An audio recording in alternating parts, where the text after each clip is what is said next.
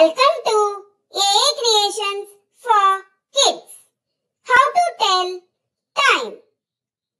This is a clock. The face of the clock is called dial.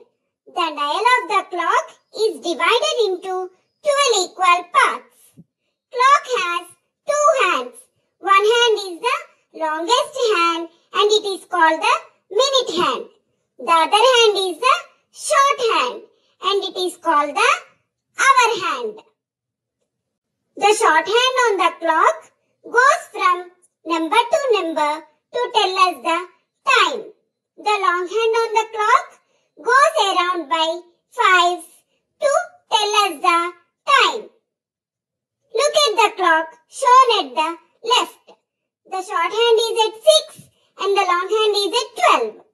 So the time is 6 o'clock. It is also written as 6 in a short way. In this clock, the short hand is at 3 and the long hand is at 12. So the time is 3 o'clock.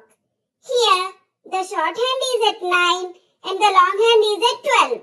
So the time is 9 o'clock. In this clock, the short hand is at 12 and the long hand is at 12. So the time is 12 o'clock. Thanks for watching this video. If you like this video, please like, share and subscribe AA Creations for.